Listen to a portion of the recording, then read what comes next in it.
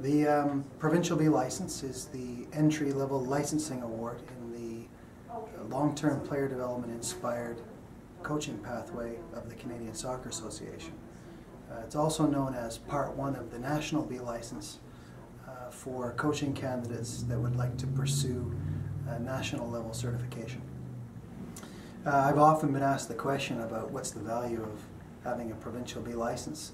And it's a good question, but the short answer to it is that most soccer countries around the world can draw links directly between the quality and level of their coach education program and the success of their national programs.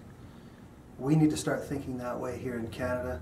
Um, my message to coaches is let's get serious. Let's start moving forward, and coaching education is a great way to do that. Uh, the Provincial B license can open up many coaching opportunities for coaches, including working within the Alberta Soccer Association provincial program. Our Mini Stars program can also open up the door to work at a Alberta Major Soccer League level, uh, college level, and even university levels uh, here in Alberta. With my new position at MacEwan University, it was definitely something that was uh, you know, an integral part of, of my development as a coach.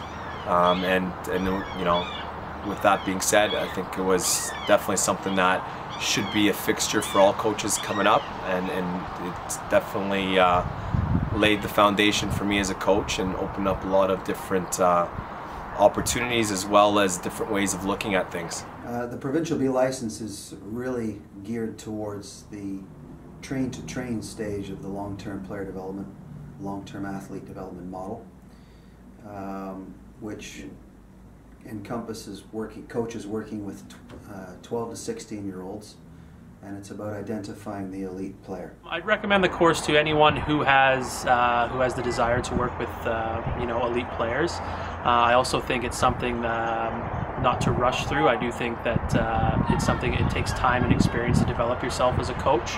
Um, I felt taking uh, you know a few years to develop myself before I took the B license was beneficial.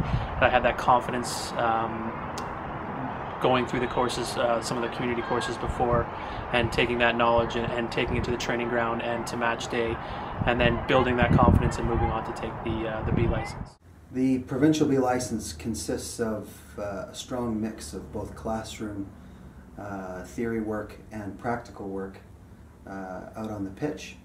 It's 40 hours in duration plus testing and evaluation. I think, but when you start to understand the game at that next level in terms of, you know, the provincial B and, and the national B and so on and so forth, you start to really understand how you can start to break down the game and dissect it. But just you know, coaching your team to understand attacking principles, defending principles, when the team is in possession, when the team isn't in possession, those main moments in the game, um, it really kind of opened my eyes in terms of seeing the game in a different perspective. I, I definitely agree with that. Uh, we have coaches who are looking to, to, to develop players and, and we need them to go through the proper um, the proper routes and the proper uh, training programs to make sure that they are um, in line with CSA's long-term uh, player development model.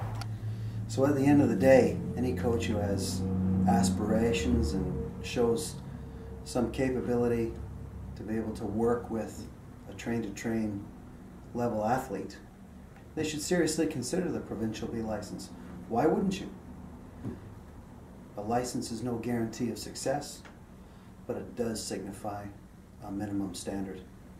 Coaching education is absolutely vital to the success of our game across the country. Let's raise the bar. Let's get serious. Every one of our kids deserves a qualified coach.